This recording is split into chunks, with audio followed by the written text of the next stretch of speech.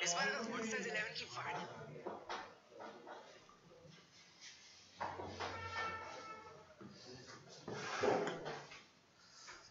बस start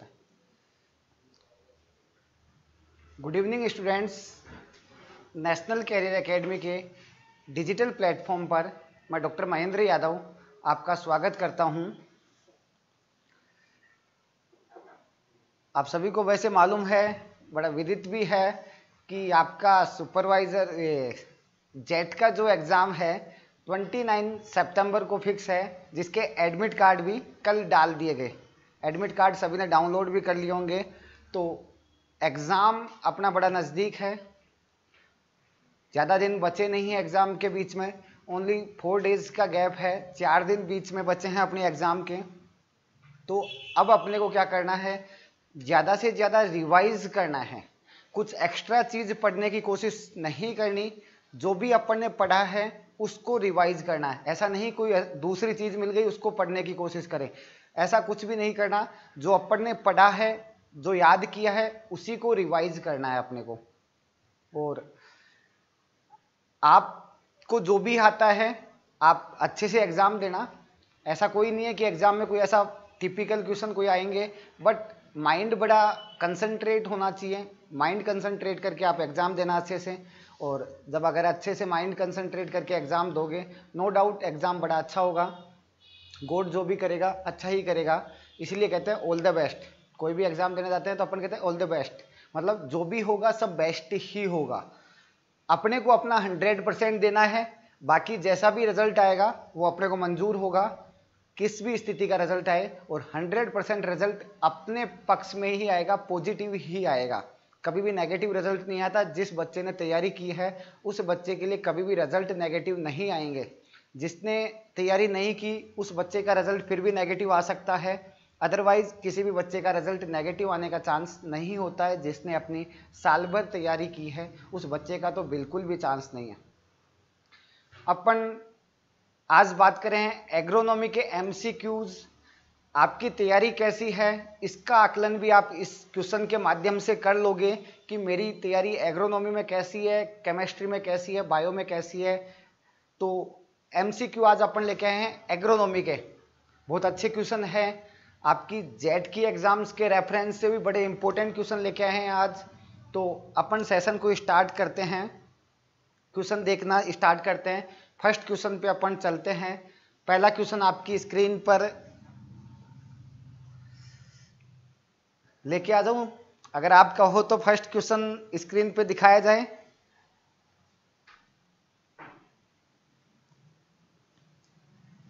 आप बोलो तो फ़र्स्ट क्वेश्चन स्क्रीन पे दिखा दिया जाए। यस और नो में बता दीजिए जल्दी से। अगर आप कहो तो फ़र्स्ट क्वेश्चन स्क्रीन पे दिखा दिया जाए।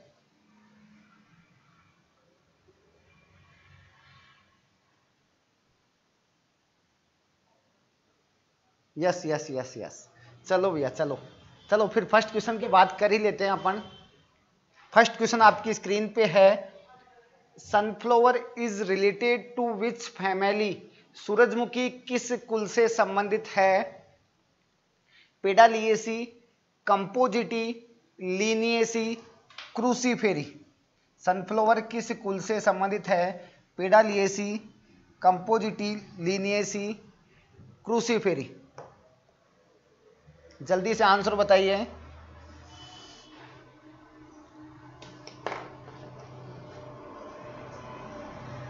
कलर का ऑप्शन कहाँ है? कलर का ऑप्शन मार कर।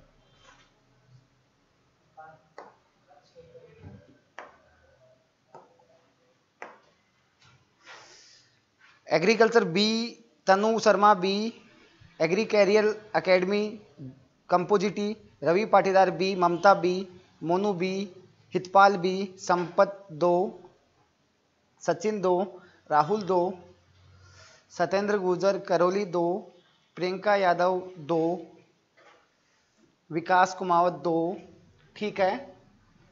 देखो, एक तो मैं आपको सभी को कह दूँ, सब किसी के भी देख के आंसर देने की कोशिश मत करना। किसी भी बच्चे ने कोई सा आंसर दे दिया, उसकी कॉपी करने की कोशिश मत करना कि किसी फ़र्स्ट बच्चे ने ऑप्शन ए लगा दिया तो सभी लोग कॉपी करके आंसर ए ए बताने लग जाए।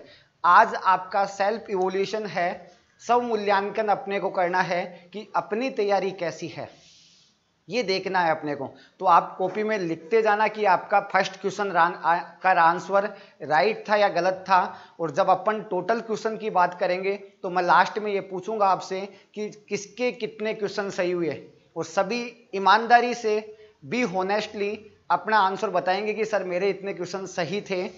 तो अपन फ़र्स्ट क्वेश्चन की बात करें सनफ्लावर की फैमिली क्या है? सनफ्लावर किस कुल से संबंधित है तो सनफ्लावर की फैमिली है। ऑप्शन नंबर दो इसका राइट आंसर है, कंपोजिटी कुल से संबंधित है। सनफ्लावर जो है, कंपोजिटी कुल से संबंधित है, इसका ऑप्शन में दूसरा नाम भी आ सकता है। क्या है? कंपोजिटी का दूसरा नाम क्या है? एस्टेरेसी। कंपोजिटी कंपोजिटी का दूसरा नाम है एस्टेरेसी फैमिली की क्रॉप है। तो पूछा जा सकता है, इस बार जेट के हिसाब से बड़ा इंपॉर्टेंट क्वेश्चन है। लास्ट ईयर अपने को अलसी का कुल पूछ लिया तेल वाली फ़सलों में। उससे लास्ट ईयर अपने को तिल का कुल पूछ लिया था। इस बार 99 परसेंट पॉसिबिलिटी है। सूरजमुखी किस कुल से संबंधित है? तो सूरजमुखी का कुल क्या है? कंपोजिटी या एस्टेरेसी है। पेडालिएसी किसका कुल है? तिल का कुल है, सीसेमम का। पेडालिएसी है, लीनियसी किसका है? अलसी का। लिंसिड का क्या है? लीनियसी है। और क्रूसीफेरी किसका है? सरसों व तारामीरा। मस्टर्ड व तारामीरा का कुल कौन सा है? क्रूसीफेरी। देखो, दो कुल पूछने का चांस ज़्यादा है इस बार। या तो अपने को सूरजमुखी का कुल पूछ सकते हैं। सूरजमुखी किस कुल से संबंधित है? कंपोजिटी कुल से संबंधित है। या पूछा जा सकता है, तेल वाली फ़सलों के अंदर एक फ़सल तो अपन जानते हैं कि ये लेग्यूमिनेसी है। लेकिन दूसरी फ़सल बड़ा कंफ्यूज करती है कि अपन सोच नहीं पाते कि ये लेग्यूमिनेसी है या नहीं। तो पूछ सकते हैं, मूंगफली किस कुल से संबंधित है? ग्राउंडनट की फैमिली क्या है? तो ग्राउंडनट मूंगफली किस कुल से संबंधित है? लेग्यूमिनेसी कुल से संबंधित है। इन दोनों में से क्वेश्चन में से पूछा जा सकता है ये। नेक्स्ट बात करें सेकंड क्वेश्चन की। सेकंड क्वेश्चन आपकी स्क्रीन पे है। Sulphur content in ammonium sulphate ammonium sulphate में सल्फ़र होता है 24 प्रतिशत, इक्कीस प्रतिशत अट्ठारह प्रतिशत, तैतीस प्रतिशत। तो आंसर बताइए। राहुल बता रहा है एक, रोहित बता रहा है एक, सुरेश बता रहा है एक शकुंतला, शेखावत एक, हितपाल एक, निकिता एक, सुरेश एक, खुशीराम एक, टीना एक, देवेंद्र एक, महेंद्र कुमावत एक, आयुष एक, रेणुका एक, सीताराम चौबदार एक लव मीणा एक, उषा एक, शिवांगी माथुर ट्वेंटी एट। हाँ तो देखो, अमोनियम सल्फेट जो है अमोनियम सल्फेट जो है, अमोनियम सल्फेट में इसका राइट आंसर है 24 परसेंट अमोनियम सल्फेट में सल्फ़र की मात्रा कितनी होती है? 24 प्रतिशत सल्फ़र पाया जाता है और 21 प्रतिशत नाइट्रोजन पाया जाता है। अमोनियम सल्फेट में 24 प्रतिशत सो सल्फ़र पाया जाता है और 21 प्रतिशत क्या पाया जाता है? नाइट्रोजन पाया जाता है। तो पूछा जा सकता है, अमोनियम सल्फेट में सल्फ़र की मात्रा होती है 24 प्रतिशत। अमोनियम सल्फेट में पूछे सल्फ़र 24 प्रतिशत। जिप्सम में सल्फ़र पूछे या सल्फेट ऑफ़ पोटास एसओपी में सल्फ़र पूछे, कितनी होती है? 18 परसेंट जिप्सम के अंदर और अमोनियम, जिप्सम और सल्फेट ऑफ़ पोटास के अंदर सल्फ़र पूछे कितना परसेंट? 18 परसेंट और सल्फेट ऑफ़ अमोनियम सल्फेट में 24 परसेंट। और नाइट्रोजन कितना होता है अमोनियम सल्फेट में? 21 प्रतिशत नाइट्रोजन होता है। नेक्स्ट क्वेश्चन पे चलें। नेक्स्ट क्वेश्चन आपकी स्क्रीन पे है। बड़ा इंपॉर्टेंट क्वेश्चन है। Vector of phyllody disease is, phyllody रोग का वाहक है।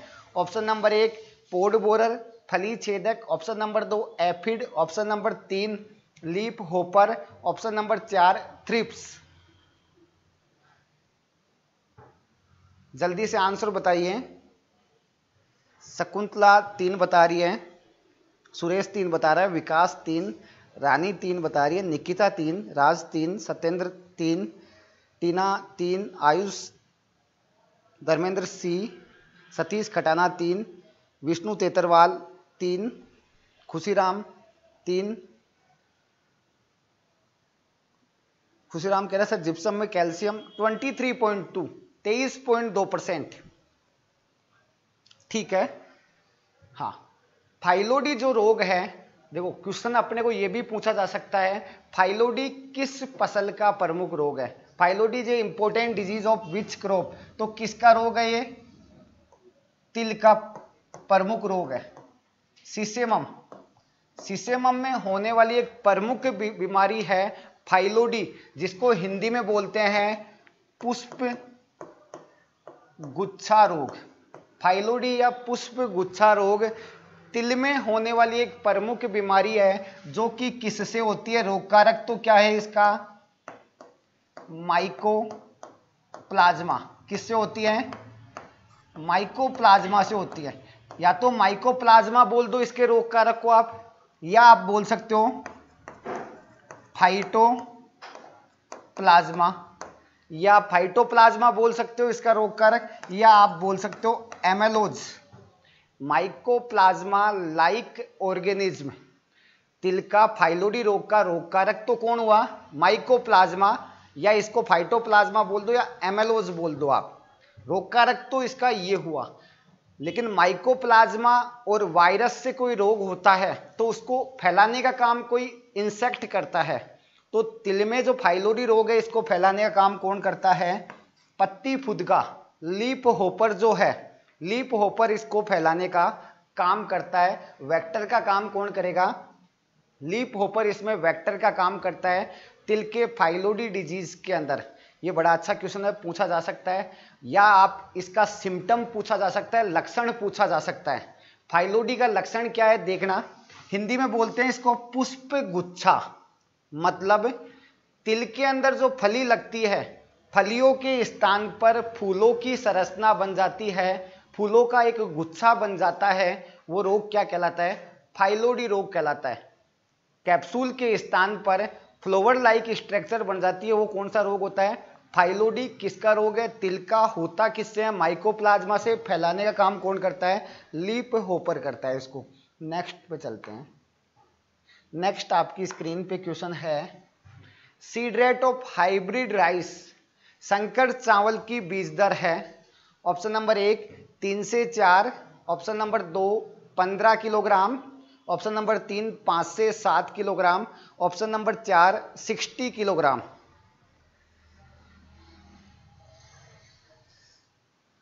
हितपाल बता रहा है दो, राहुल दो, लक्ष्मण बी, संपत जाट दो सीता माली दो, सुरेश दो, जाट चौधरी बी, हर्षित दो, रेणुका दो, महेंद्र कुमार दो।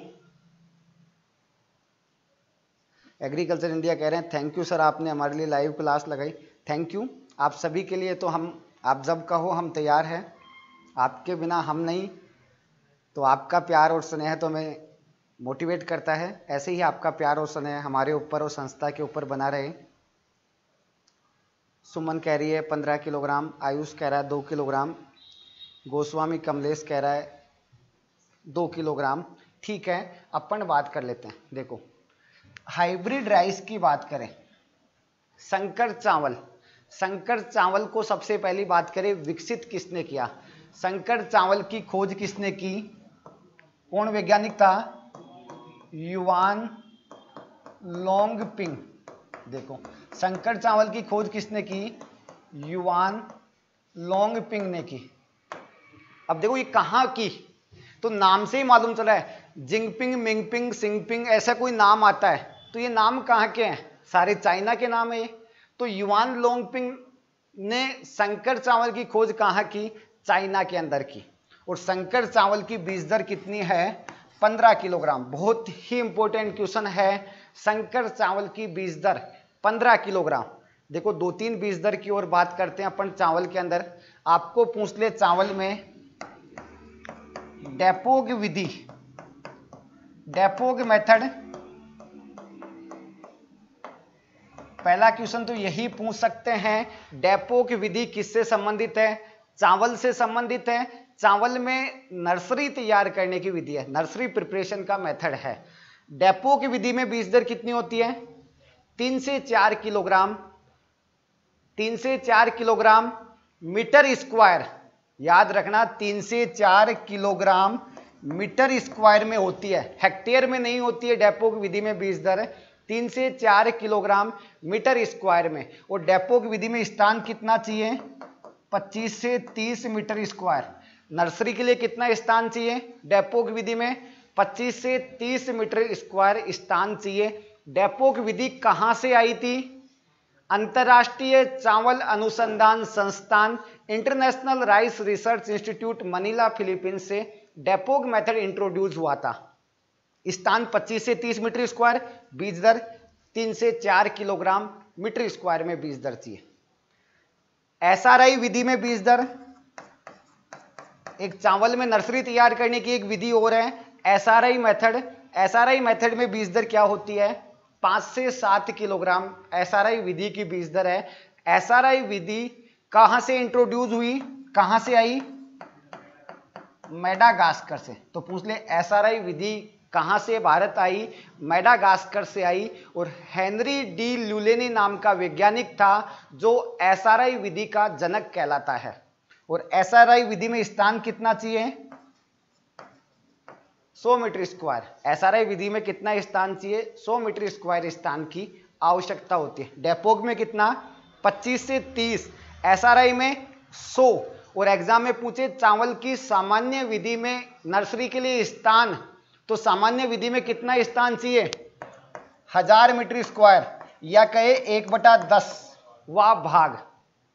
सामान्य विधि की बात करें, नॉर्मल मेथड की बात करें, राइस में हज़ार मीटर स्क्वायर चाहिए स्थान। डेपोक में 25 से 30 एसआरआई में 100 मीटर स्क्वायर। बीज दर की बात करें शंकर चावल की 15 डेपोक की 3 से 4 एसआरआई की 5 से 7 और ड्रिलिंग विधि जो है, उसकी 60 किलोग्राम। नेक्स्ट क्वेश्चन पे चले। नेक्स्ट क्वेश्चन है अपना, which disease is related to Bengal famine? किस रोग का संबंध 1943 के बंगाल अकाल से है। ऑप्शन नंबर एक, आलू का पछेती अंगमारी। ऑप्शन नंबर दो, धान का ऊफरा रोग। ऑप्शन नंबर तीन, धान का भूरी पत्ती धब्बा रोग। ऑप्शन नंबर चार, all. Late blight of potato, ufra of rice, brown leaf spot of rice, all.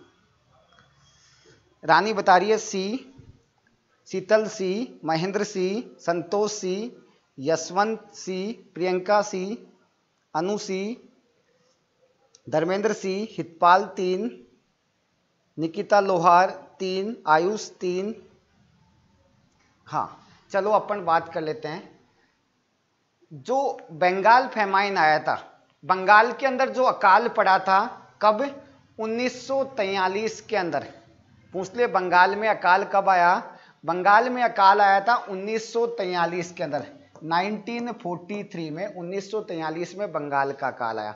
Bengal का अकाल, जो आलू का सॉरी चावल का भूरी पत्ती दब्बा रोग है, उसके कारण बंगाल में अकाल आया था। ब्राउन स्पॉट ऑफ़ राइस के कारण। हो सकता है आपके एग्ज़ाम में सिंपल नाम नहीं दिया हुआ हो। एग्ज़ाम में हो सकता है इसका रोग कारक दिया हुआ हो और पूछ ले, बंगाल का काल किस रोग के कारण आया? तो धान का भूरी पत्ती दब्बा रोग किससे होता है? रोग कारक क्या है? हेलमिंथो स्पोरियम ओराइजी। धान का भूरी पत्ती धब्बा रोग ब्राउन स्पॉट ऑफ़ राइस का रोग कारक क्या है? हेलमिंतो स्पोरियम ओराइजी नामक रोग कारक जो फपूंद है, उसके कारण धान का भूरी पत्ती धब्बा रोग होता है। धान में ऊफरा रोग किससे होता है? ये भी बड़ा अच्छा क्वेश्चन है। किससे होता है ये? सूत्रकर्मी से होने वाला रोग है। किससे होता है? सूत्रकर्मी से एक निमेटोड है। निमेटोड से ये रोग होता है और कौन सा सूत्रकर्मी है? डिटाइलेंचस एंगस्टस। डिटाइलेंसस एंगस्टस नामक सूत्रकर्मी है। उस सूत्रकर्मी से धान का ऊपरा रोग होता है। और यह भी बड़ा अच्छा क्वेश्चन है। आलू का पछेती अंगमारी रोग आयरलैंड का काल आयरिस फेमाइन 1845 के अंदर आयरलैंड के अंदर अकाल आया। आयरलैंड का अकाल किससे संबंधित है? आलू से संबंधित है। और आलू के कौन से रोग से? आलू का पछेती अंगमारी रोग कारक क्या है? फाइटोपथेरा इन्फेस्टेंस आलू का पछेती अंगमारी के कारण सही है। चले आगे।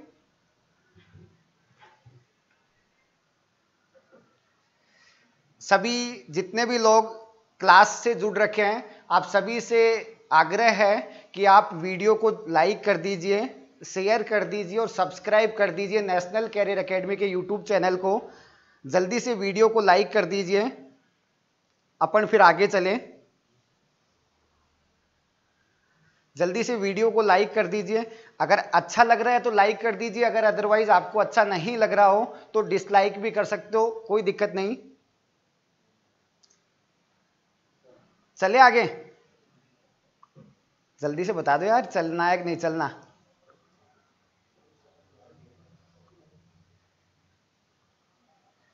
जल्दी से बता दो यार, चले कि नहीं चले आगे?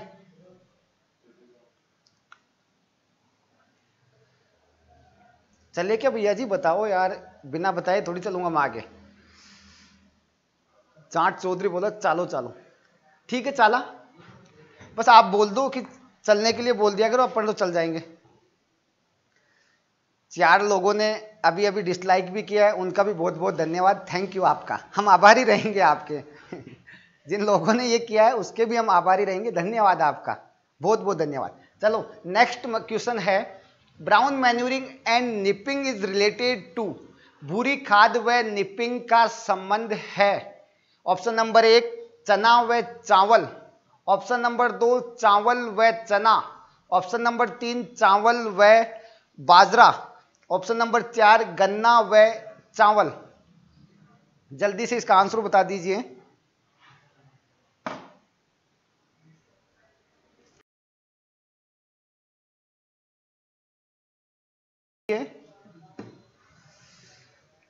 अनु बोल रही है B, Mamta B Sitaram Choupdar B, Rahul दो, बुद्धि प्रकाश दो।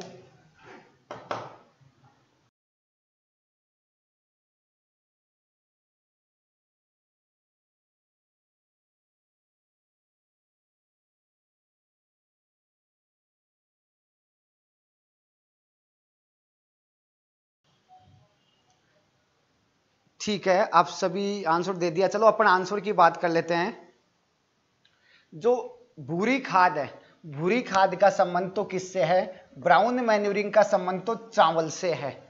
और निपिंग जो है निपिंग का संबंध चने से है। तो ऑप्शन के अनुसार देखे, चना व चावल, बात तो सही है चना और चावल है, लेकिन ऑप्शन पहला क्या है? भूरी खाद बोला है। तो भूरी खाद ब्राउन मैन्यूरिंग का संबंध किससे है? चावल से इसका रिलेशन है। सेकंड चीज़ बोलिए निपिंग निपिंग का संबंध किससे है? चने से। तो ऑप्शन सेकंड इसका राइट आंसर हो जाएगा, चावल व चना। अब होता क्या है? भूरी खाद और निपिंग क्या होता है? निपिंग तो क्या होता है? जो अपना चना होता है। ये साइड वाली ब्रांचेज की वृद्धि करने के लिए चने के शीर्ष भाग को हटा देना निपिंग कहलाता है। ब्राउन मैन्यूरिंग क्या होता है? भूरी खाद का संबंध बहुत अच्छा क्वेश्चन है। भूरी खाद का संबंध किससे? चावल से ब्राउन मैन्यूरिंग का रिलेशन है। चावल को उगाने से पहले अपन डेचा जो है सेस्बिनिया रोस्ट्रेटा डेचा वैज्ञानिक नाम क्या है? सेस्बिनिया रोस्ट्रेटा डेचा को उगाते हैं और टू फोर डी की सहायता से उसको नष्ट करके खेत में मिला दिया जाता है। उस प्रोसेस को क्या कहा गया है? ब्राउन मैन्यूरिंग कहा गया है। डेचा भी बहुत अच्छा क्वेश्चन है। पूछा जा सकता है ऐसी कौन सी हरी खाद की फ़सल है जो जड़ व तने दोनों स्थानों से नाइट्रोजन स्तरीकरण करती है? डैचा एक ऐसी फ़सल है। नेक्स्ट क्वेश्चन पे चले। नेक्स्ट क्वेश्चन है ओरिजिन पैलेस ऑफ़ काउपी चमला का उत्पत्ति स्थान है दक्षिणी पश्चिमी Asia south west Asia, Africa south east Asia, Mexico या मध्य अमेरिका। जल्दी से आंसर बता दीजिए। रोहित बता रहा है बी सुरेश बी राज पटेल दो रेणुका बी राहुल दो अनु दो सीता दो निकिता दो राहुल मैला दो हितपाल दो मनीषा दो राहुल रा, राकेश पटेदार दो चलो अपन बात कर लेते हैं। देखो, जितनी भी चमला एक तो पहली बात, कौन सी फ़सल है? दलहनी फ़सल है, पल्सेज है। तो जितनी भी खरीफ की दलहनी फ़सलें हैं, जितनी भी खरीफ की पल्स क्रोप है, उनका सभी का उत्पत्ति स्थान कहाँ है? भारत। खरीफ की सभी दलहनी फ़सलों का उत्पत्ति स्थान भारत है। एक फ़सल को छोड़कर चौला को छोड़कर चौला का उत्पत्ति स्थान क्या है? अफ्रीका। एक फ़सल को छोड़कर, कौन सी? चौला को छोड़कर सभी खरीफ की दलहनी फ़सलों का उत्पत्ति स्थान कहाँ है? भारत है। और अफ्रीका नाम आ गया। अफ्रीका के नाम आते ही आपके माइंड में पाँच फ़सलों का नाम याद आ जाना चाहिए। अफ्रीका पाँच फ़सलों का उत्पत्ति स्थान है। किन किन का? दो अनाज वाली फ़सलें। बाजरा। और ज्वार। परमिलेट और परमिलेट एंड सोरगम दो तो अनाज वाली फ़सल। एक हो गई दलहनी फ़सल, चौला। दो तेल वाली फ़सल है, तिलहनी फ़सल। कौन कौन सी है? दो तेल वाली फ़सल कौन सी है? एक तो तिल और दूसरी तारामीरा। सीसेमम एंड तारामीरा तो पाँच फ़सलों का उत्पत्ति स्थान अफ्रीका है, बाजरा, ज्वार चौला तिल, तारामीरा। इन पाँच फ़सलों का उत्पत्ति स्थान क्या होगा? अफ्रीका। ऑप्शन नंबर एक बोल रहा है, दक्षिणी पश्चिमी एशिया। दक्षिणी पश्चिमी एशिया चार फ़सलों का उत्पत्ति स्थान है अपने। कौन कौन सी? एक है गेहूँ। वीट एक है चना, ग्राम। एक मसाले वाली फ़सल, मेथी, फेनुग्रिक। ये भी क्वेश्चन पूछा जा सकता है इस बार। मेथी का कुल कौन सा है? क्योंकि बाकी तीनों मसाले वाली फ़सलों का कुल अम्बेली फेरी है और मेथी एक ऐसी मसाले वाली फ़सल है जो अपने सलेबस में ऐड है और एक लेग्यूमिनेसी परिवार से है। बाकी तीनों मसाले वाली किससे है? अम्बेली फेरी से है। तो गेहूँ, चना, मेथी और रिजका, लुरसन, इनका उत्पत्ति स्थान क्या है दक्षिणी, पश्चिमी एशिया। एच आर चौधरी कह रहा है, तिल का इंडिया नहीं है। नहीं, तिल का इंडिया नहीं है, तिल का अफ्रीका। दक्षिणी पूर्वी एशिया की बात करें, साउथ ईस्ट एशिया की बात करें तो ईस्ट एशिया की बात करें, चावल। चावल का उत्पत्ति स्थान और जो का उत्पत्ति स्थान, राइस और बार्ले। राइस का पूछा जा सकता है चावल का दक्षिणी पूर्वी एशिया, या इसको क्या कह सकते हैं अपन? इंडो बर्मा चावल का उत्पत्ति स्थान पूछ सकते हैं तो इंडो बर्मा भी ऑप्शन में आ सकता है। और गेहूँ का उत्पत्ति स्थान पूछे तो टर्की भी ऑप्शन में आ सकता है। टर्की भी सही है, गेहूँ का उत्पत्ति स्थान। ठीक है? मैक्सिको या मध्य अमेरिका की बात करें मैक्सिको और मध्य अमेरिका किसका उत्पत्ति स्थान है? मक्का का और मक्का और सूरजमुखी।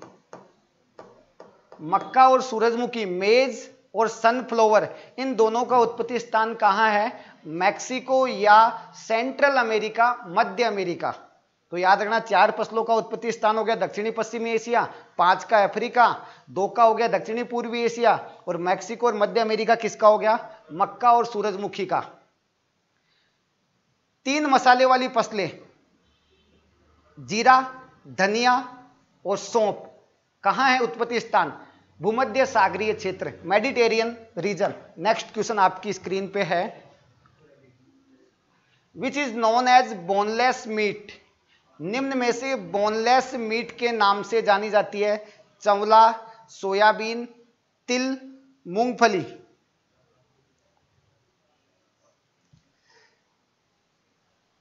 जल्दी से बताइए आंसर। चलो, अपन डिस्कशन कर लेते हैं। बोनलेस मीट की बात करें। देखो बोनलेस मीट के नाम से कौन सी फ़सल जानी जाती है? सोयाबीन। सोयाबीन को बोनलेस मीट के नाम से जानता है, बिना हड्डी का मांस। देखो, बोनलेस मीट क्यों कहा गया है सोयाबीन को? जो मीट होती है, मीट में प्रोटीन बहुत ज़्यादा होता है। प्रोटीन बहुत ज़्यादा पाया जाता है और अपनी फ़सलों के अंदर बात करें तो सबसे ज़्यादा प्रोटीन सोयाबीन में ही होता है।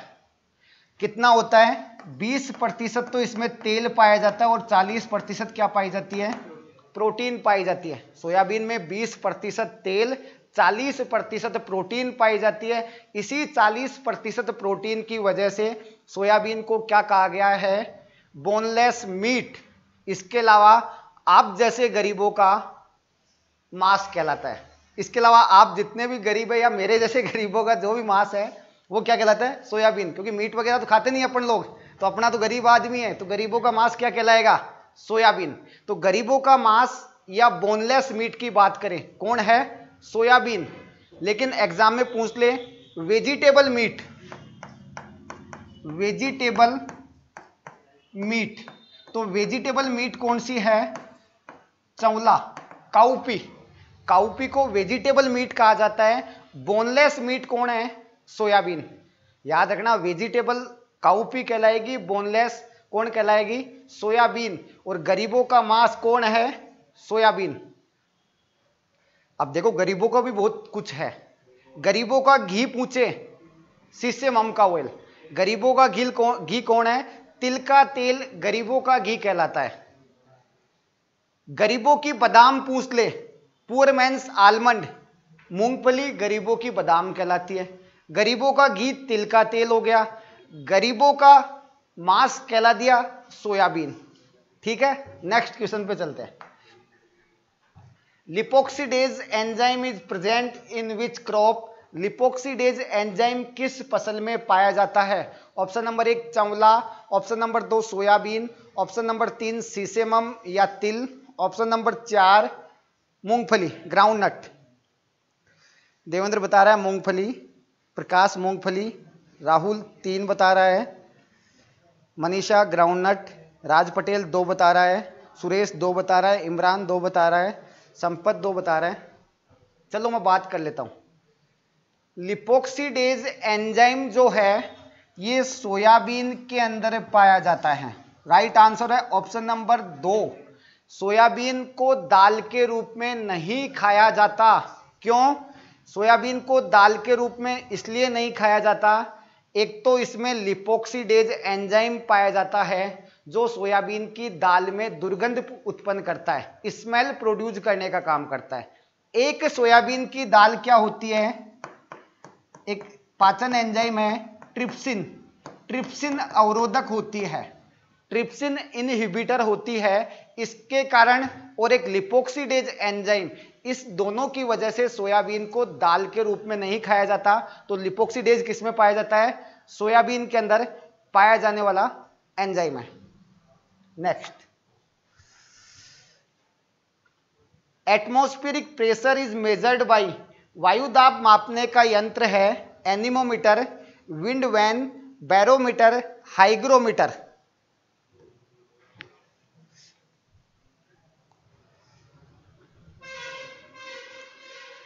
जल्दी से बता दीजिए आंसर।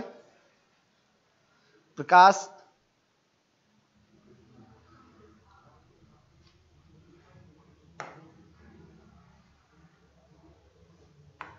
प्रकाश सही था, सोयाबीन ही है? आंसर? हाँ। वायुमंडलीय दाब या वायु दाब को किससे मापा जाता है? बैरोमीटर। या हो सकता है आपके बैरोमीटर की जगह ऑप्शन में हो, बैरोग्राफ। बैरोमीटर बोल दो या बैरोग्राफ भी हो सकता है। तो बैरोमीटर या बैरोग्राफ से वायुमंडलीय दाब या एटमोस्फेरिक प्रेशर को मापा जाता है। अब ऑप्शन और कुछ भी है, उनका भी बात कर लेते हैं अपन। एनिमोमीटर बहुत अच्छा क्वेश्चन है। वायु की गति विंड की स्पीड वायु गति को कौन मापता है? विंड स्पीड को।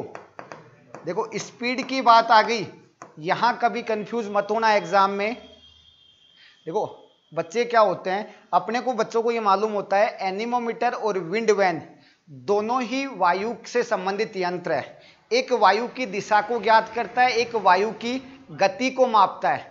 और एग्ज़ाम में कंफ्यूज कर देते हैं, गति पूछते हैं विंड वैन कर देते हैं, और दिशा पूछते हैं एनिमोमीटर कर देते हैं। तो याद रखना, गति की बात की जाएगी तो अपन गति किसमें देखते हैं? मीटर के अंदर देखते हैं। अपन बाइक वगैरह चलाते हैं कार वगैरह चलाते हैं तो उसमें स्पीड किस पे आती है? मीटर पे आती है स्पीडोमीटर तो स्पीड की बात करेंगे वायु की तो कौन होगी? एनिमोमीटर और दिशा की बात करेंगे डायरेक्शन की तो वायु की दिशा मापने का यंत्र क्या है? विंड वैन वायु की दिशा डायरेक्शन मापने का इंस्ट्रूमेंट है। हाइग्रोमीटर हाइग्रोमीटर किसको मापता है? आर्द्रता को मापने वाला यंत्र है। ह्यूमिडिटी को मेजर करता है। या तो हाइग्रोमीटर बोल दो, या इसका दूसरा नाम है साइक्रोमीटर हाइग्रोमीटर या साइक्रोमीटर आर्द्रता को मापने का काम करता है। नेक्स्ट चले। नेक्स्ट क्वेश्चन है। Fruit type of groundnut is मूंगफली का फल कहलाता है। ऑप्शन नंबर एक लोमेंटम ऑप्शन नंबर दो पोड ऑप्शन नंबर तीन कैपिटुलम ऑप्शन नंबर चार सिलिकुआ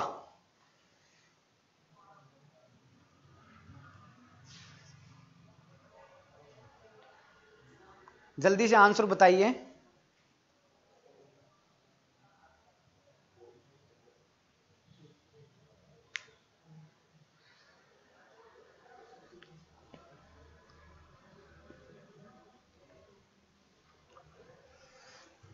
चलो, आंसर की बात करें अपन। मूंगफली में फल का प्रकार क्या कहलाता है? लोमेंटम ऑप्शन नंबर एक राइट आंसर है। मूंगफली में फल का प्रकार फ्रूट टाइप क्या कहलाएगा? लोमेंटम मूंगफली में फल का प्रकार कहलाता है। पोड जो है पोड या फली, दलहनी फ़सलों में फल का प्रकार कहलाता है। पल्सेज के अंदर फल का प्रकार कौन है? पोड या फली। ऑप्शन नंबर तीन भी बड़ा इंपॉर्टेंट क्वेश्चन है। कैपिटुलम कैपिटुलम सूरजमुखी और कुसुम, दोनों का पुष्प क्रम कहलाता है। सनफ्लोवर और सेफ़ फ्लोवर दोनों का इनफ्लोरसेंस पुष्प क्रम क्या कहलाता है? कैपिटुलम, सूरजमुखी और कुसुम का पुष्प क्रम कैपिटुलम कहलाता है। और ऑप्शन नंबर चार, फिर उससे ज़्यादा इंपॉर्टेंट क्वेश्चन है सिलिक्वा सरसों में फल का प्रकार। मस्टर्ड के अंदर फ्रूट टाइप क्या कहलाता है? सिलिकुआ। या अपन के क्रूसीफेरी फैमिली में फल का प्रकार सिलिकुआ कहलाता है। ठीक है? नेक्स्ट चले। नेक्स्ट क्वेश्चन है। NRC 37 is a variety of which crop NRC 37 bracket में अहिल्या। किस फ़सल की किस्म है? ऑप्शन नंबर एक चौला ऑप्शन नंबर दो सोयाबीन, ऑप्शन नंबर तीन तिल, ऑप्शन नंबर चार मूंगफली। Cowpea soybean, sesamum groundnut Mahendra बता रहा है बी, सुरेश बी, सतीश खटाना दो। अंकित मीणा दो, निशा दो, उषा दो, सीता दो, रंजना दो, राज दो, अभिषेक दो, देवेंद्र दो। हाँ देखो एनआरसी 37 जो वेराइटी है, ये सोयाबीन की किस्म है। सोयाबीन बहुत ज़्यादा इंपॉर्टेंट है। क्यों? क्योंकि एग्ज़ाम अपनी करा रहा है कौन? Agriculture university Kota. और कोटा संभाग में, राजस्थान के अंदर कोटा संभाग में सोयाबीन का बहुत ज़्यादा उत्पादन होता है। राजस्थान में सबसे ज़्यादा सोयाबीन कोटा संभाग की तरफ़ ही होती है। तो कोटा के अंदर होती है तो पूछा जा सकता है सोयाबीन के बारे में। तो सोयाबीन की वेराइटी कौन सी है? एनआरसी 37 सोयाबीन की वेराइटी है। नेक्स्ट क्वेश्चन पे चले अपन। साइंटिफिक नेम ऑफ़ कैस्टर अरंडी का वैज्ञानिक नाम है। Brassica जुनसिया एराकिस hypogaea Ricinus communis glycine max जल्दी से आंसर बता दीजिए।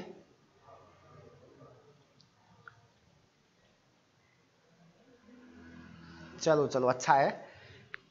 अरंडी का वैज्ञानिक नाम है रिसिनस कम्युनिस। ऑप्शन नंबर तीन इसका राइट आंसर है। अरंडी का कुल भी पूछा जा सकता है। तो अरंडी you four B S C कौन सा कुल है? You four B S C you four B S C किसका कुल है? अरंडी का कुल है। और आंवला का भी शायद यही दिखता है। अरंडी और आंवला। तो आंवला का भी कुल यही है you four B S C अरंडी का भी कुल यही है you four B S C देखो, बाकी नाम की भी बात कर लेते अपन। ब्रेसी का जुनसिया किसका नाम है? भारतीय सरसों इंडियन मस्टर्ड ब्रेसी का जुनसिया। एराकिस हाइपोजिया, मूंगफली। ग्राउंडनट का वैज्ञानिक नाम है। ग्लाइसिन मैक्स, सोयाबीन का वैज्ञानिक नाम है। ब्रेसी का जुनसिया का उत्पत्ति स्थान चीन। याद रखना S M S sorry MTS याद रखना एमटीएस के फ़ोन कहाँ से आए थे? चाइना से आए थे एमटीएस के फ़ोन एमटीएस का मतलब हो गया मस्टर्ड मतलब सरसों, टी, चाय, और एस का मतलब सोयाबीन। एमटीएस फ़ोन कहाँ से आया? चाइना से आए थे। तो एमटीएस का उत्पत्ति स्थान क्या है? चीन। मतलब सरसों का और सोयाबीन का उत्पत्ति स्थान कहाँ माना जाएगा? चीन माना जाएगा। और मूंगफली का तो मालूम है ही। ब्राज़ील नेक्स्ट क्वेश्चन है। Nitrogen content in compost. Compost में नाइट्रोजन पाई जाती है। ऑप्शन नंबर एक, ज़ीरो पॉइंट पाँच प्रतिशत। ऑप्शन नंबर दो, एक प्रतिशत। ऑप्शन नंबर तीन, दो प्रतिशत। ऑप्शन नंबर चार, तीन प्रतिशत।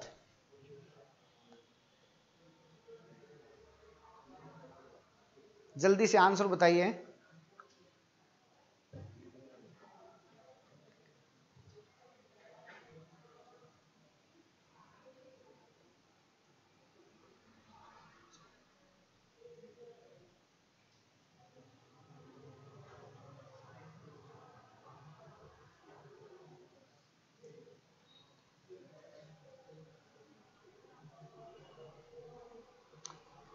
चलो अपन इसके आंसर की बात कर लेते हैं।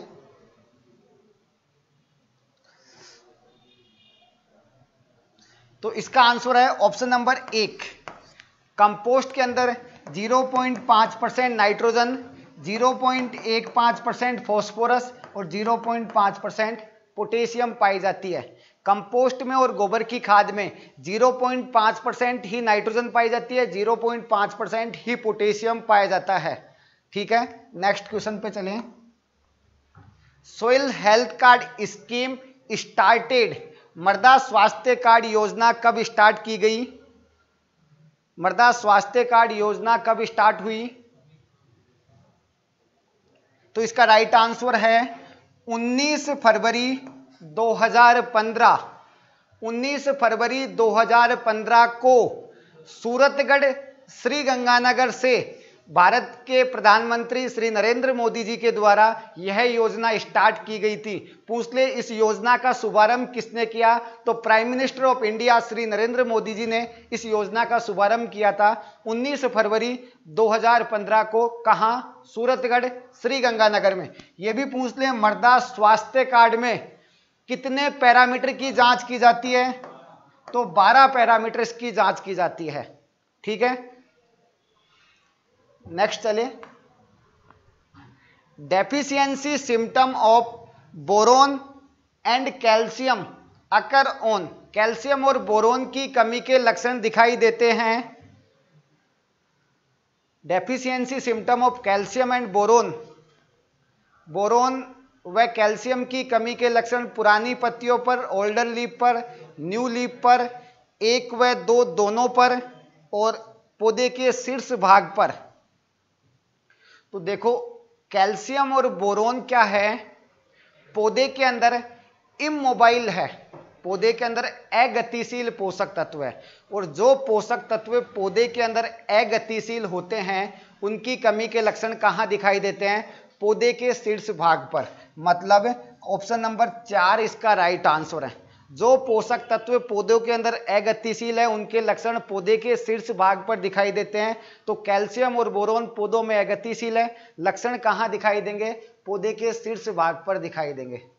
पुरानी पत्तियों पर किसके दिखाई देते हैं? जो पौधों में सर्वाधिक गतिशील होते हैं। एनपीके एमजीएमओ की कमी के लक्षण। नाइट्रोजन, फॉस्फोरस, पोटेशियम, मैग्नीशियम और मोलिब्डेनम की कमी पुरानी पत्तियों पर आती है। आयरन मैग्नीज, कॉपर और सल्फ़र की कमी नई पत्तियों पर आती है और एक बहुत ही इंपॉर्टेंट क्वेश्चन है। ऐसा कौन सा पोषक तत्व है जिसकी कमी पुरानी व नई दोनों पे आती है? जिंक एक ऐसा पोषक तत्व है जिसकी कमी पौधे की पुरानी पत्तियों पे भी आती है और नई पे भी आती है। मतलब पूरे पौधे पे दिखाई देती है जिंक की कमी। कैल्शियम और बोरोन की कहाँ आ गई? पौधे के शीर्ष भाग पर। पौधे का शीर्ष भाग वीप नामक संरचना में परिवर्तित हो गया तो किसकी कमी है? बोरोन की कमी है। और पौधे का शीर्ष भाग कप लाइक स्ट्रक्चर कपनुमा आकृति या हुक नुमा आकृति में परिवर्तित हो गया। कप कप भी हुक जैसा ही होता है। ऐसा हुकनुमा आकृति में परिवर्तित हो गया या कप नुमा आकृति में परिवर्तित हो गया तो किसकी कमी है? कैल्शियम की कमी है। ठीक है? नाइट्रोजन की कमी से पुरानी पत्तियाँ पीली पड़ जाएगी लोअर लीप येलो हो जाएगी सल्फ़र की कमी से ऊपर की पत्तियाँ पीली पड़ जाएगी। मैग्नीशियम की कमी से पुरानी पत्तियों की सिरा और मध्य सिरा के बीच का भाग पीला हो जाएगा और मैग्नीज की कमी से ऊपर का हो जाएगा। बैंगनी रंग की हो जाएगी फोस्फोरस से पुरानी पत्तियाँ और लाल रंग की हो जाएगी मोलिब्डेनम की कमी से। आयरन की कमी से ऊपर वाली पत्तियाँ सफ़ेद हो जाएगी। और पोटेशियम की कमी से पत्तियों के किनारे जल जाएँगे या झुलस जाएँगे। नेक्स्ट क्वेश्चन है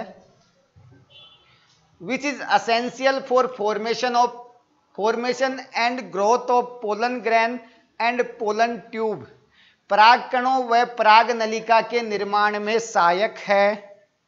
ऑप्शन नंबर एक कैल्शियम ऑप्शन नंबर दो मैग्नीशियम ऑप्शन नंबर तीन फॉस्फोरस ऑप्शन नंबर चार बोरोन परागकण और पराग नलिका, इन दोनों के निर्माण में कौन जिम्मेदार है? तो बहुत ही इंपॉर्टेंट क्वेश्चन है, बहुत प्यारा क्वेश्चन है। परागकण मतलब जब फ्लोवर बनता है, फूल बनता है तो परागकण और पराग नलिका जो है, जो पोलिनेशन का काम करते हैं, परागकण और पराग नलिका, इनके निर्माण के लिए बोरोन जिम्मेदार है। राइट आंसर ऑप्शन नंबर चार। बोरोन जिम्मेदार है। इसका मतलब पौधे में बीज निर्माण के लिए कौन जिम्मेदार है? बोरोन। पौधे के अंदर सीड के फॉर्मेशन में बोरोन जिम्मेदार है। किसी भी फ़सल में बीज का निर्माण नहीं हुआ, किसकी कमी है? बोरोन की कमी है, क्योंकि बीज बनने के लिए ग्रैन के फॉर्मेशन के लिए कौन जिम्मेदार है? बोरोन जिम्मेदार है। एक मूंगफली को छोड़कर। मूंगफली में दाने का नहीं बनना, कैल्शियम की कमी है, जिसे पोपिंग कहते हैं। बाकी इसके अलावा किसी भी फ़सल में दाने का नहीं बनना पूछे या पूछ ले बांझपन रोग तो बांझपन किसके होता है? बोरोन की कमी से होता है। स्टेलिटी बोरोन की डेफिशिएंसी से होती है। ठीक है? अब एक चीज़ आप समझना, अगर ऐसा कोई क्वेश्चन पूछता है, दाने के निर्माण के लिए कौन जिम्मेदार है? बोरोन। सीड के फॉर्मेशन में बोरोन असेंशियल है। लेकिन साइज़ को बढ़ाने के लिए साइज़ को बढ़ाने के लिए, आकार को बढ़ाने के लिए पोटेशियम जिम्मेदार है। बीज को सुडोल कौन बनाता है? पोटेशियम बनाता है ये। तो एग्ज़ाम में पूछ ले कि फ़सल के दानों का सिकुड़ जाना किस पोषक तत्व की कमी का लक्षण है। ग्रैन इज़ श्रिंक्ड तो दाने सिकुड़ गए, श्रिंक हो गए तो इसका मतलब किसकी कमी है? पोटेशियम की कमी है। वो पोटेशियम की कमी से होगा। ठीक है? नेक्स्ट क्वेश्चन पे चले। Bagasse press mud and molasses is related to bagasse press mud and molasses किस फ़सल से संबंधित है?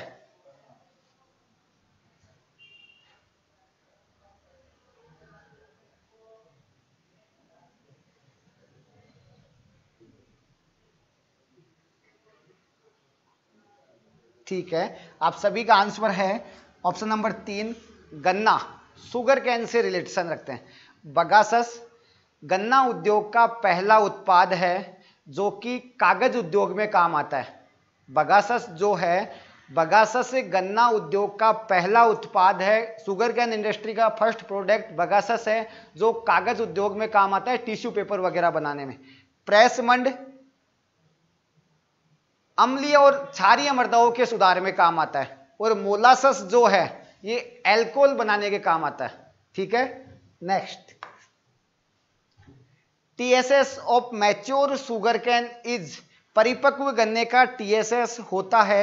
ऑप्शन नंबर एक 10 से 12 डिग्री ब्रिक्स ऑप्शन नंबर दो 12 से 15 डिग्री ब्रिक्स ऑप्शन नंबर तीन 16 से 18 डिग्री ब्रिक्स ऑप्शन नंबर चार 21 से 24 डिग्री ब्रिक्स राहुल बता रहा है एक, राज बता रहा है तीन, सीता तीन, निकिता तीन, रानी तीन सत्येंद्र तीन।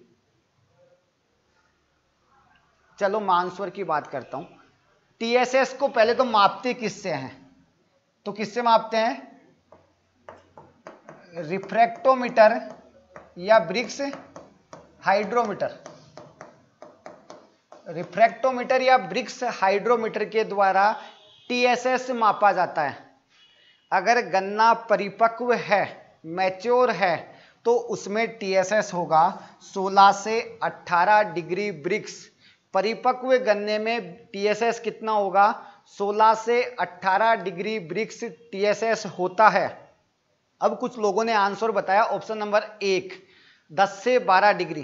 देखो 10 डिग्री 10 तो क्या होता है? गन्ने में सरकरा जो गन्ना होता है सुगर कैन में सुगर कंटेंट कितना होता है? आठ से 10 प्रतिशत।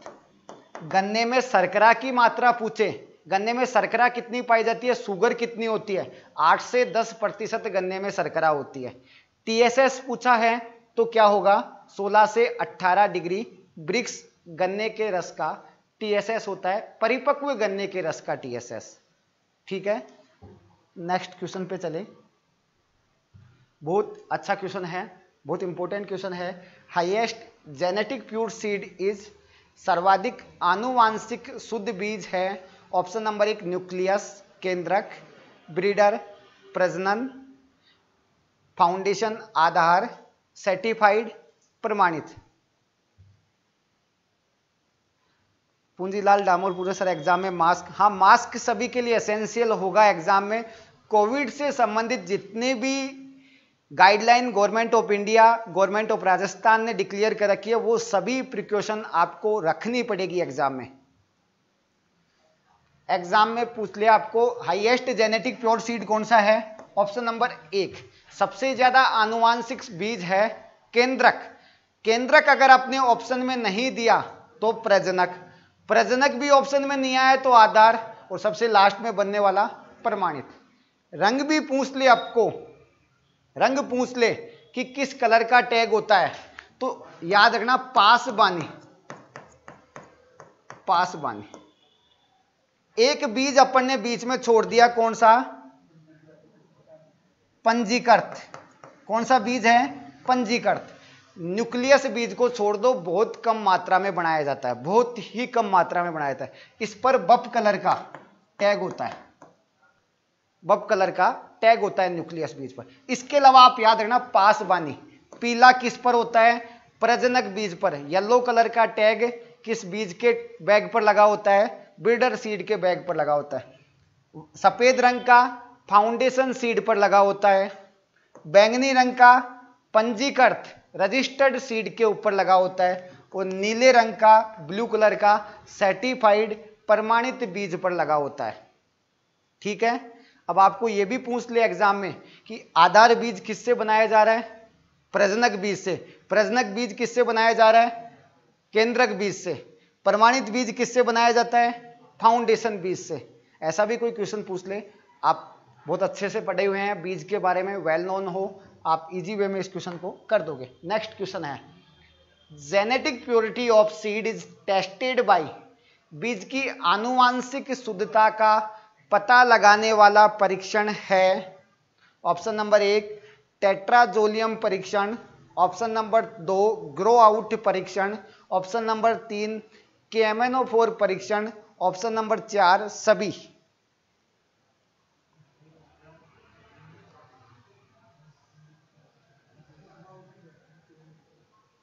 ललित बता रहा है चार, मनीषा बी, श्याम सिंह गुजर चार, निकिता चार, सतीश चार चलो चलो, अपन बात कर लेते हैं। बहुत ज़्यादा विवादित क्वेश्चन के आंसर दे रहे हो आप इसमें। आनुवांशिक शुद्धता जेनेटिक प्योरिटी को टेस्ट करने वाला है। ग्रो आउट टेस्ट बहुत अच्छा क्वेश्चन है। आपको एग्ज़ाम में क्या पूछेंगे वो? मैंने क्वेश्चन को थोड़ा अलग लिखा है आपको, बाकी चीज़ें बताने के लिए। एग्ज़ाम में पूछेंगे वो अपने को ग्रो आउट परीक्षण निम्न में से किसके लिए किया जाता है? तो ग्रो आउट परीक्षण किसके लिए किया जाता है? आनुवांशिक शुद्धता का पता लगाने के लिए। अब जो ऑप्शन नंबर एक और ऑप्शन नंबर तीन है अपने टेट्राजोलियम टेस्ट और केमेनोफोर टेस्ट ये दोनों किसके लिए पता लगाने वाले परीक्षण है? ऑप्शन नंबर एक और ऑप्शन नंबर तीन किसका पता लगाने वाले हैं? जीवन क्षमता सीड वाइबिलिटी कि बीज जीवित है या मर गया? बीज जर्मिनेशन के लिए ज़िंदा है, अंकुरित होने की क्षमता है या वो मर गया? इसका पता लगाने वाला परीक्षण कौन सा है? ऑप्शन नंबर एक और ऑप्शन नंबर तीन। इसको क्या बोलते हैं? बीज की जीवन क्षमता के परीक्षण। टेट्राजोलियम परीक्षण और केमेनोफोर परीक्षण। ये बीज की जीवन क्षमता का पता लगाने वाली विधि है। ठीक है? नेक्स्ट क्वेश्चन है cloud is responsible for rain with thunderstorm ऐसे बादल जो वर्षा के साथ तेज आंधी तूफ़ान के लिए जिम्मेदार है निम्बो स्ट्रेटस कुमुलस स्ट्रेटस कुमुलो निम्बस जल्दी से आंसर बता दीजिए।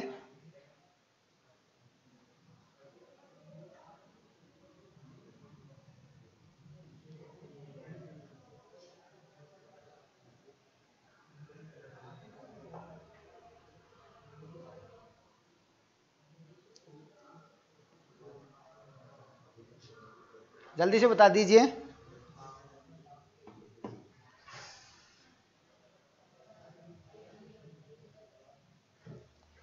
चलो चलो चलो। ठीक है, अपन बात कर लेते हैं, इसका राइट आंसर है। देखो, आंधी तूफ़ान के साथ थंडर स्ट्रोम के साथ बारिश करने वाले जो वो होते हैं, बादल, वो कौन से हैं? कुमुलो निम्बस आपको एग्ज़ाम में पूछा सिंपल बारिश के लिए कौन से बादल जिम्मेदार है? तो बारिश के लिए निम्बो स्टेटस बादल जिम्मेदार है। लेकिन पूछा, बारिश आंधी तूफ़ान के साथ आती है तो कुमुलो निम्बस आंधी तूफ़ान के साथ बारिश आए जो जनरली मार्च, अप्रैल में आती है। मार्च, अप्रैल में जो बारिश आती है, वो आंधी तूफ़ान के साथ आती है। कुमुलो निम्बस है।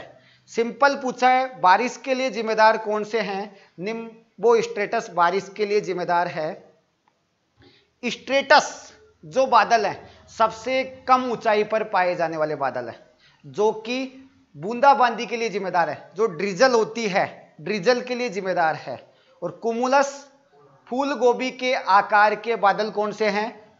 कुमुलस फूल गोभी के आकार के, क्यूलीफ्लावर सेप के बादल कौन से कहलाते हैं? कुमुलस बादल फूल गोभी के आकार के कहलाते हैं। और सबसे ऊंचाई पर पाए जाने वाले बादल, सीरस। सीरस बादल जो है, सबसे ऊंचाई पर पाए जाने वाले, सबसे ऊंचाई पर पाया जाने वाला बादल सीरस, सबसे नीचे पाया जाने वाला स्ट्रेटस। बारिश के लिए जिम्मेदार निम्बो स्ट्रेटस, आंधी तूफ़ान के साथ कुमुलो निम्बस ड्रिजल के लिए जिम्मेदार स्ट्रेटस। बादल कितने प्रकार के हैं, ये भी पूछे। दस प्रकार के बादल होते हैं। Next question national research centre on weed science राष्ट्रीय खरपतवार विज्ञान अनुसंधान केंद्र, इंदौर, जूनागढ़, जबलपुर कोयम्बटूर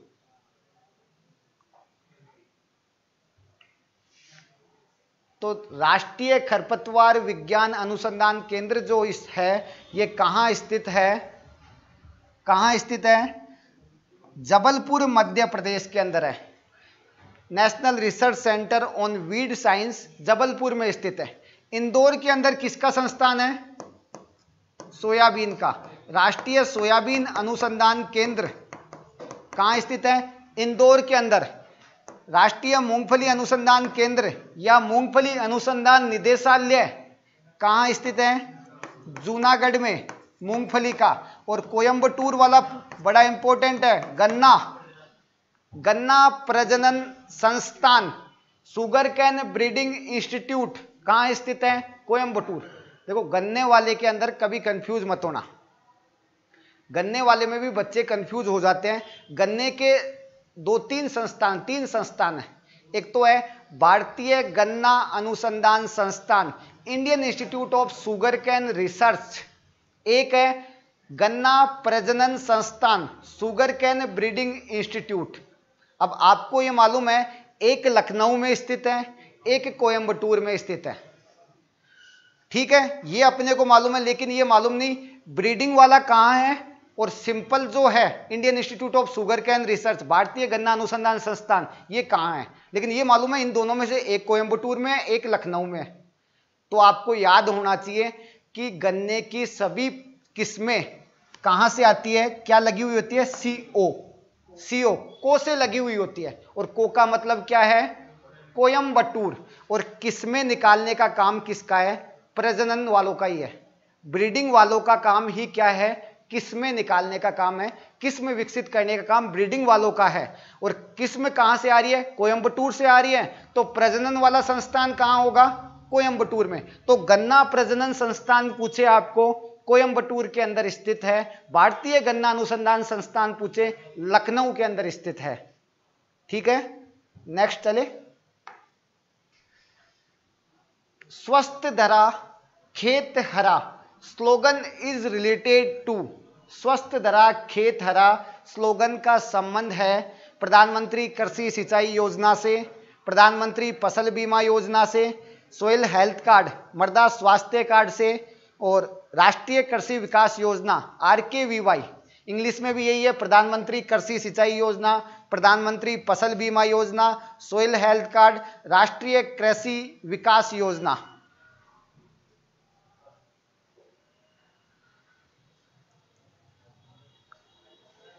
देखो स्वस्थ बहुत अच्छा क्वेश्चन है। पिछली बार पूछा था अपने को everything else wait but not agriculture हर कोई इंतज़ार कर सकता है, लेकिन कृषि इंतज़ार नहीं कर सकती। पंडित जवाहरलाल नेहरू का स्टेटमेंट था ये। पूछ सकते हैं, स्वस्थ हरा खेत हरा, स्वस्थ धरा खेत हरा। ये स्लोगन मृदा स्वास्थ्य कार्ड। सोयल हेल्थ कार्ड जब लागू किया गया था, तब प्रधानमंत्री श्री नरेंद्र मोदी ने स्टेटमेंट दिया था, स्वस्थ धरा खेत हरा। तो पूछ ले, ये स्लोगन किस विज्ञा, किसके द्वारा दिया गया? तो श्री नरेंद्र मोदी जी के द्वारा दिया गया। और कौन सी स्कीम से संबंधित है? तो मृदा स्वास्थ्य कार्ड जो स्कीम है, उससे ये संबंधित है। स्वस्थ धरा खेत हरा। ठीक है? ये भी पूछ ले, प्रधानमंत्री कृषि सिंचाई योजना कब आई? 2015 के अंदर। प्रधानमंत्री फ़सल बीमा योजना कब आई? 2016 के अंदर। मृदा स्वास्थ्य कार्ड अभी बात की थी 2015 19 फरवरी 2015 राष्ट्रीय कृषि विकास योजना आर के वी वाई दो हज़ार सात के अंदर आई। प्रधानमंत्री कृषि सिंचाई योजना 2015 में लागू की गई। प्रधानमंत्री फ़सल बीमा योजना 2016 में और हेल्थ कार्ड,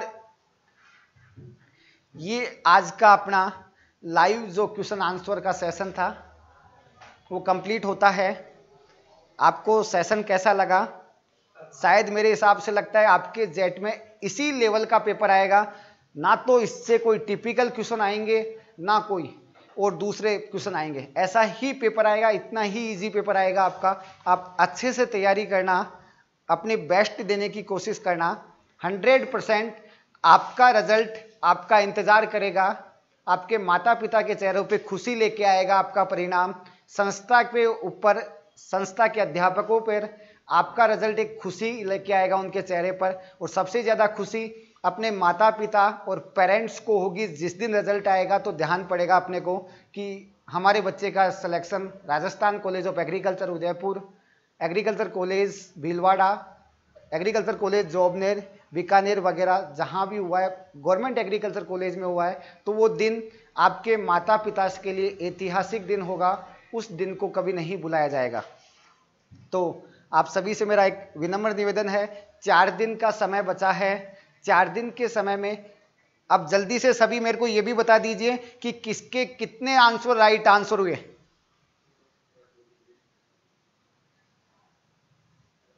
जल्दी से अब यह भी बता दीजिए किसके कितने आए।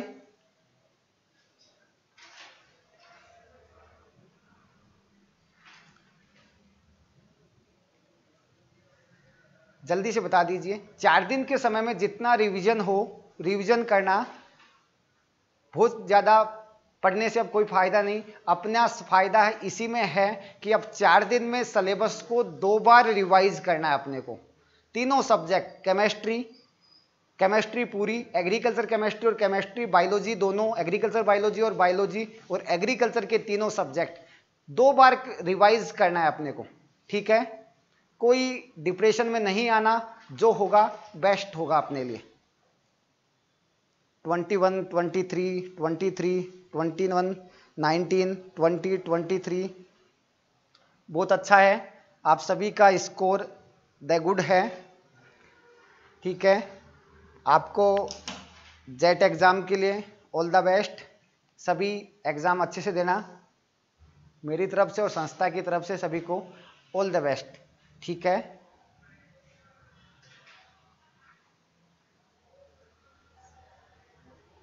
हाँ सभी का अच्छा है। Mamta 24 right that's good Lakshman 23 सही है सभी के। जिनके भी 20 से अबाउ आंसर सही है, उन सभी का सही है। थैंक यू आप सभी का पेपर अच्छा हो, मैं यही उम्मीद करता हूँ। आज का सेशन ख़त्म करते हैं। Good night.